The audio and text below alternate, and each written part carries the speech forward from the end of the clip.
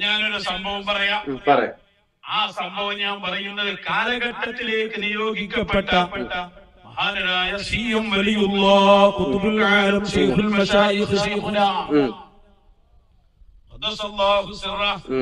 അവരെ കുറിച്ച് ഒരു കറാമത്ത് നമ്മൾ കേൾക്കുകയാണ്. അവരെ കുറിച്ച് ഒരു മധുഹ് നമ്മൾ കേൾക്കുകയാണ്. അപ്പൊ ഈമാനുള്ള നമുക്ക്. നമുക്കതിങ്ങനെ കേൾക്കുമ്പോ നല്ലൊരു സന്തോഷം. വലിയ സന്തോഷായി പോയി അത് പറയാതെ പോകരുതേ എന്ന് മനസ്സ് തേടും. അങ്ങനെ ജീവിച്ച് അതിന്റെ കൂടെ യാത്ര ചെയ്യും. അതാണ് ആ മഹബത്തിന്റെ അടയാളം. സംഭവം മനസ്സിലാവുണ്ടല്ലോ നിങ്ങൾക്ക്. ഒരു കറാമത്ത് എന്ന് പറഞ്ഞുകൊണ്ട് ഒരു കാര്യം കേൾക്കുകയാണ്. പിന്നെ അതിങ്ങോട്ട് പറഞ്ഞിട്ട് നാലാളെ മുമ്പിൽ ഇങ്ങനെ അത് പറഞ്ഞാലേ ഉള്ളൂ. നൌഷാദ് ഹസനിക്ക് ഒരു സമാധാനം കിട്ടുക എന്നാണ് നൌഷാദ് ഹസൻ എന്നെ പറയുന്നത്. അപ്പൊ നൌഷാദെ എനിക്ക് ചോദിക്കാനുള്ളത് ഒരു കാര്യമാണ്. ഈ പറയപ്പെട്ട ഈ കറാമത്ത് എന്നും പറഞ്ഞുകൊണ്ട് ഈ പറയുന്ന ഈ കള്ളക്കഥ ഉണ്ടല്ലോ അതിന് വല്ല യോഗ്യതയുണ്ടോ? അതിന് വല്ല സത്യസന്ധതയുമുണ്ടോ? അത് നടന്നിട്ടുണ്ടോ? നടക്കുമോ നടക്കൂല എന്നുള്ളത് മറ്റൊന്ന്. നടന്നിട്ടുണ്ടോ എന്നുള്ളത് എന്നെങ്കിലും എവിടെങ്കിലും പോയിട്ട് ചോദിച്ചിട്ടുണ്ടോ നൗഷാദ് ഹസനെ? ഏ? അല്ല അത് പറയണല്ലോ. അള്ളാഹുവിന്റെ ഹബീബ് സല്ലാ അലൈഹി സ്വലമ കള്ളം പറയാറില്ല. ആരോടും തമാശക്ക് പോലും കള്ളം പറയാത്ത റസൂലുള്ളാഹി സല്ലാ അലൈഹി സ്വലമ റസൂൽ എന്തെങ്കിലും പറഞ്ഞാൽ അപ്പടി വിശ്വസിക്കുക എന്നുള്ളത് റസൂലുള്ളാഹി സല്ലാ അലൈഹി സ്വലമയുടെ മേൽ ഷഹാദത്ത് ചെയ്ത നമുക്ക് ബാധ്യതയുണ്ട്. എന്നാൽ ഏതെങ്കിലും ഒരാൾ എന്തെങ്കിലും പറഞ്ഞാൽ അതിങ്ങനെ വിശ്വസിക്കുക എന്നുള്ളതാണോ? ഇപ്പോ ഒരു കറാമത്ത് കഥക്കാരുടെ കറാമത്ത് കണ്ടു. ആ ചെറിയൊരു വീഡിയോ ആണ്. ആ വീഡിയോ ഒന്ന് കണ്ടിട്ട് നമുക്ക് പെട്ടെന്ന് വരാം. പള്ളിയുടെയോ അല്ലെങ്കിൽ മദാമിന്റെയോ പുനരുദ്ധാരണം ഓരോ കാലങ്ങളിൽ വരുമ്പോൾ ഇതിന്റെ കൊമ്പുകൾ പല ഭാഗങ്ങൾക്ക് ഉണ്ടാവുമല്ലോ. അപ്പൊ മുറിക്കാൻ വേണ്ടിയിട്ട് നമ്മൾ ഉദ്ദേശിച്ചു കഴിഞ്ഞാൽ ആ കൊമ്പ് മുറിയാതെ മറ്റു ഭാഗത്തേക്ക് തിരിഞ്ഞു കൊടുക്കുന്ന ഒരു സംഭവം ഇവിടെ ഉണ്ടായിട്ടുണ്ട്. തൃശ്ശൂർ ഡിസ്ട്രിക്റ്റിൽ ചാവക്കാട് പൊന്നാനി ഹൈവേയിൽ ചാവക്കാടിനോട് ഏകദേശം ഒരു ആറ് കിലോമീറ്റർ ദൂരത്താണ് ഇതുള്ളത് ആറോ അഞ്ചോ കിലോമീറ്റർ ദൂരത്ത്.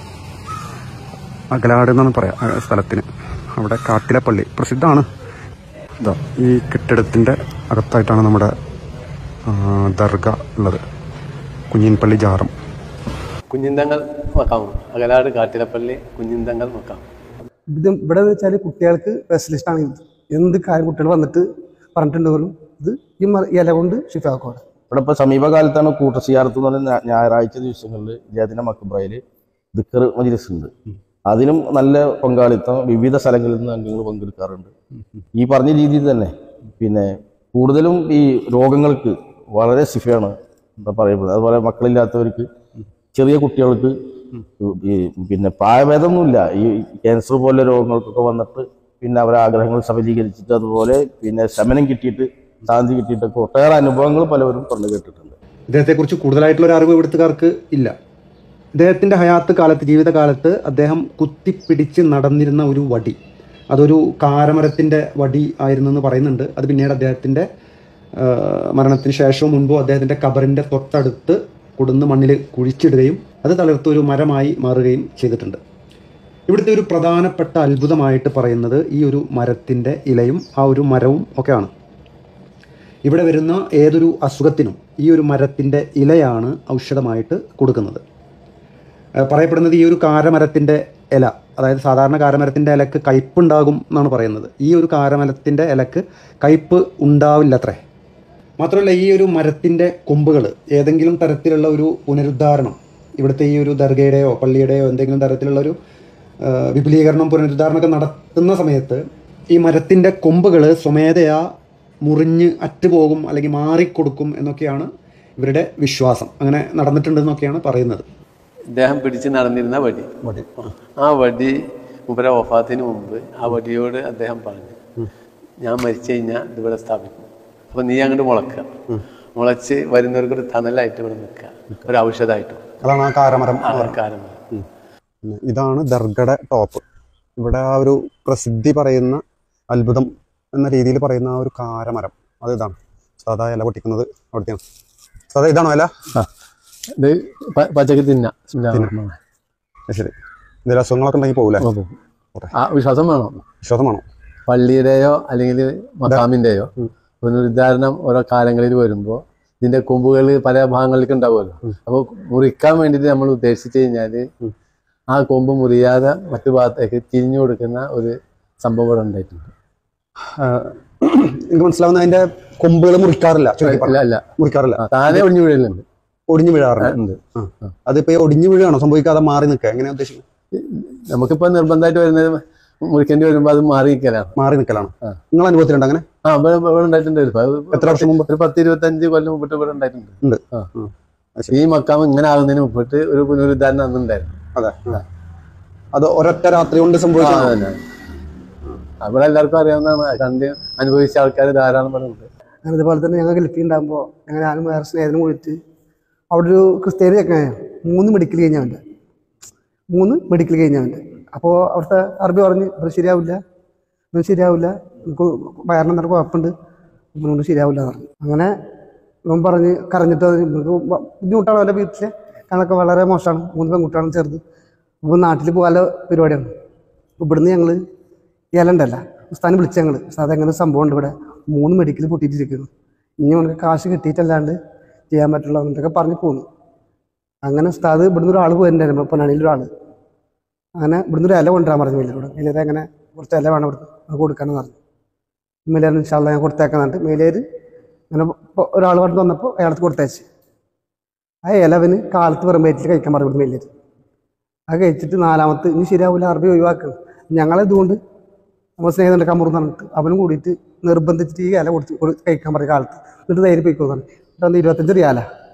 അമ്പത് റിയാലാണ്ട് പിന്നെ കെട്ടിയിട്ടാണ് പോയിട്ട് ഇതെന്നാൽ പാസ്സാവുന്നിട്ട് കൊടുത്ത് മേലേര് എന്നിട്ട് ഇവരോട് പറഞ്ഞു കഴിച്ചോ. എന്നിട്ട് പോയിട്ട് പോയി പോയി പോയിക്കോ പറഞ്ഞു.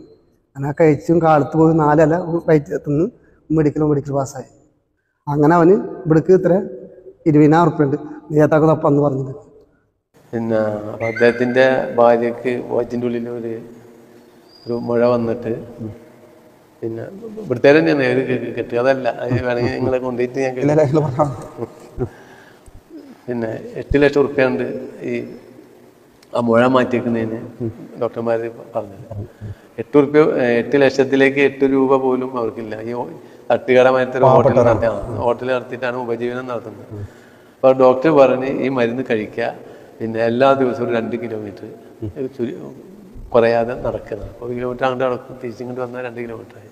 അങ്ങനെ നടക്കുക എല്ലാ ഞായറാഴ്ച ഇവിടെ ഒരു കൂട്ട ചെയ്യാറുണ്ട് അതിൽ ഈ സ്ത്രീ വന്ന് പങ്കെടുക്കുന്നുണ്ട്.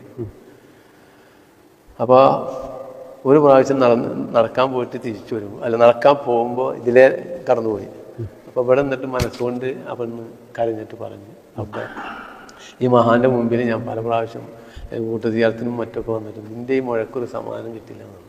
ഞാൻ ആ സ്ത്രീ നടന്നു പോയിട്ട് തിരിച്ചു വരുമ്പോൾ ബ്ലേഡ് കൊണ്ട് വരച്ച മരുത്ത ഒരു ഒരു വേദന. ഒരു നീറ്റിലുണ്ടാവും ബ്ലേഡ് കൊണ്ട് ഒന്ന് വരച്ച. നീറ്റിൽ എന്താണ് സാധനം നോക്കുമ്പോൾ എന്തോ ഒന്ന് തൂങ്ങിക്കിടന്നു. നേരെ വീട്ടിൽ പോയി ആ സാധനം വീട്ടിൽ ചെന്ന് നോക്കുമ്പോഴേക്ക് അത് അറ്റ് വീണു.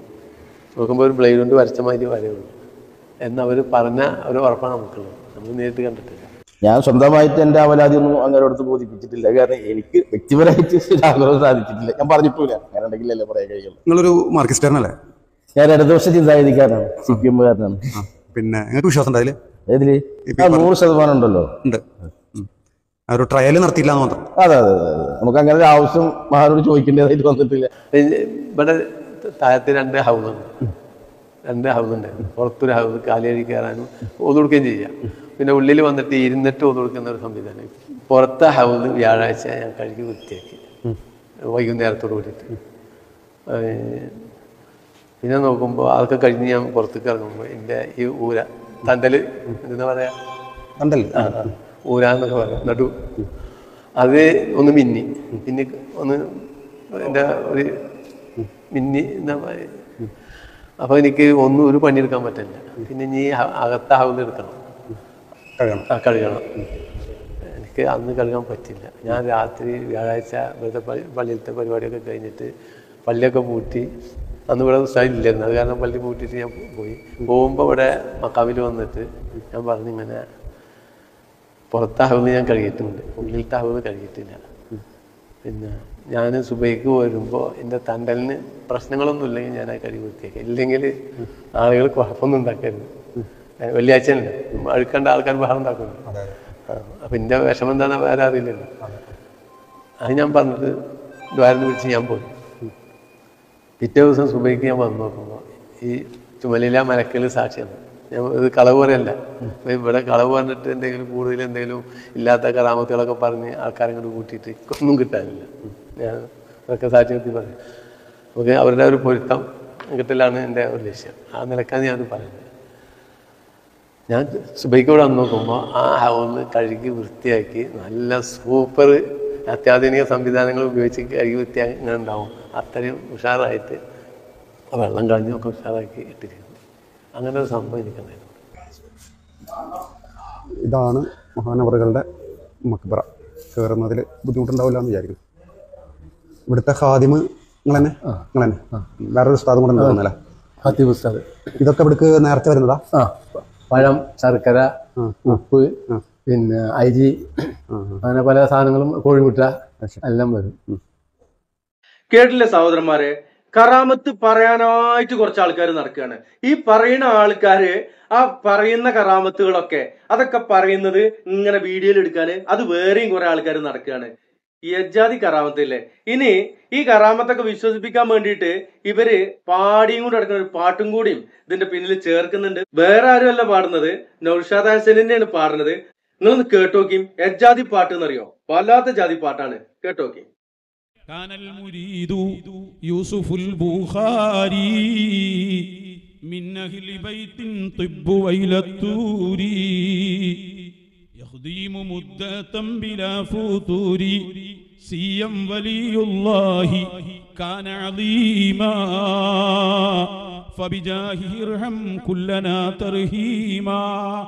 وروى من العجائب العجيبة ما يدهش العقول بالغريبة من الخوارق ما له من ريبا. سيا ولي الله كان عظيما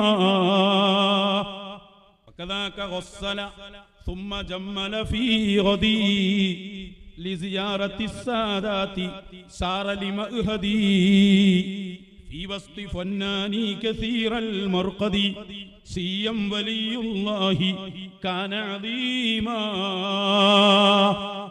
زيارتي ودع الأحباب. فقال بعض جاءنا ذا الباب. بالأمس عسرا لست ممن رابا سيا ولي الله كان عظيما. لما تكاثرت الخصومة بينهم في أمره قد قال ملتفتا لهم. لا خصومة بيننا وبينهم سيم ولي الله كان عظيما